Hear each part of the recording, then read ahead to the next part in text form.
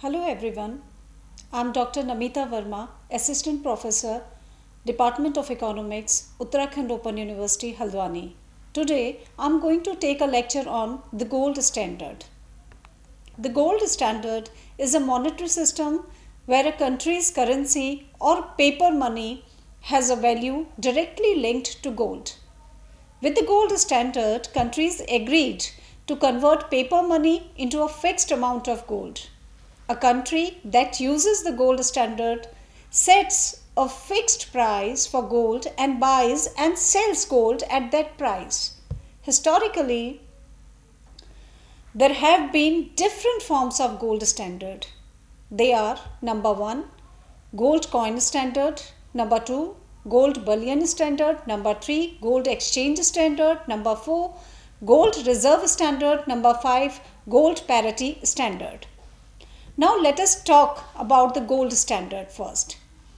Gold standard is a monetary system in which the standard unit of currency is a fixed quantity of gold and is kept at the value of a fixed quantity of gold. The currency is freely convertible at home or abroad into a fixed amount of gold per unit of currency. Gold coin standard. According to Crowther, a currency system in which gold coins either form the whole circulation or else circulate equally with notes is known as the gold is also known as the full gold standard. Gold coin standard or gold currency standard or gold species standard is the oldest form of gold standard. It is also known as orthodox gold standard or traditional gold standard. This standard was prevalent in the UK, France, Germany and the USA before the World War I. Gold coin standard is also regarded as full gold standard because under this standard full bodied standard coins made of gold were circulated. Other forms of money are redeemable into gold. Now let us talk about the features of gold coin. Monetary unit is defined in terms of gold. For example, before World War I, sovereign was the standard coin in the UK. Its weight was 123.17447 grains with 11 oblique 12 purity. Other forms of money, for example, token coins and paper money are also in circulation, but they are convertible into gold. Coinage is unlimited and free of cost. There is free and unlimited melting of gold coins. The government buys and sells gold at fixed prices and thereby maintains parity between the face value and intrinsic value of the standard coin. There is free import and export of gold. Gold is unlimited legal tender for all types of payments. All values are expressed in terms of gold. Merit of gold coin standard. The gold coin system has the following advantages. Number 1. Public confidence. Since the standard coin is made of gold, it is universally acceptable. Thus, gold coin standard enjoys full confidence of the public. Number two, automatic working.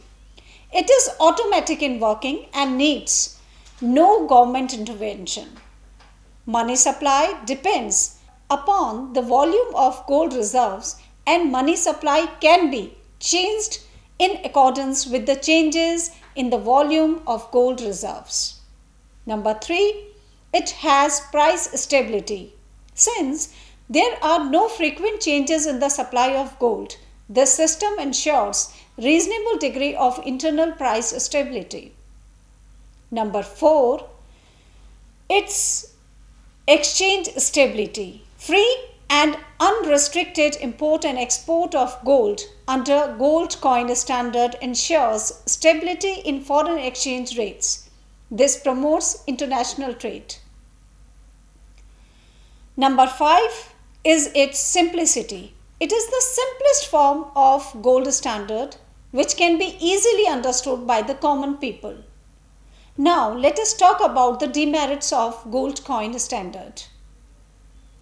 Gold coin standard also suffers from the following defects. Number 1. Fair weather standard. It is fair weather standard. It operates smoothly during peacetime but fails to work properly and to inspire public confidence at the time of economic crisis. Number 2. Wastage of gold. There is great deal of wastage of gold under this standard Circulation of gold coins suffers depreciation. Moreover, since paper currency is fully backed by gold, gold remains idle while in reserves. Number 3, it's not automatic. Gold coin standard operates automatically with the cooperation of the participating countries. After World War I, in the absence of international cooperation, this standard ceased to be automatic in its functioning. Number 4 is its price stability unreal. Under this system, internal price stability is unreal. Various factors like discoveries of new gold mines, changes in the techniques of production of gold, changes in imports and exports of gold leads to change in the price of the gold and hence causes fluctuations in the internal prices. Number 5. It is less effective. Gold currency standard is not the only standard for achieving the objective of price and exchange stability. Critics points out that a managed currency system is more effective in ensuring stability in internal price level and external exchange rate. Number 5. Deflation oriented. Mrs. Joan Robinson regards gold coin standard as deflation oriented because the gold losing countries will compulsory reduce the currency, thus generating deflation, while the gold receiving countries generally do not expand the currency, thus generating inflation. Number 6 is gold bullion standard.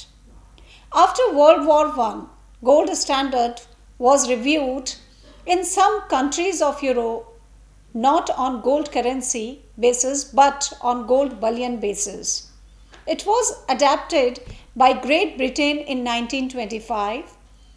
Gold bullion standard is a modified version of gold coin standard in which there was no gold coinage and the currency is convertible into gold bullion. For example, gold bars. Now let us talk about the features of gold bullion standards. Number 1. Gold coins are not in circulation, but the standard currency unit is expressed in terms of a definite quantity of gold of a given fineness. Thus, gold does not act as a medium of exchange, but it remains a measure of value. Number two, coinage of gold is not allowed. People can't get their gold converted into coins at a mint. Number three, other forms of money, paper money and token coins are not fully backed by gold reserves. But the government guarantees full convertibility of currency into gold bullion. Number four, the government is always ready to buy and sell gold at fixed prices. For example, in England during 1925 to 1931, the currency was exchangeable for gold bars of 400 ounces, each worth about 1560. Fifth, there are no restrictions on export and import of gold. Now let us talk about the merits of gold bullion standards. The gold bullion standard has the following merits. Number one, economy in the use of gold. The use of gold, gold coins are not in circulation and there is no wastage of the precious metal. Moreover, there is no 100% gold backing of note issues. Number two, use of gold in public interest. Since under gold bullion standard, all gold is not kept idle in reserves. It can be properly utilized for public purposes. Number three is automatic working. Like the gold currency standard, the gold bullion standard also operates automatically. If demand for money falls, people will start buying gold from the government. As a result, gold reserves and thus the money supply will fall will fall. In this way, equilibrium in the demand and supply of money will be established and hence price stability is ensured. Number 4 is its exchange stability.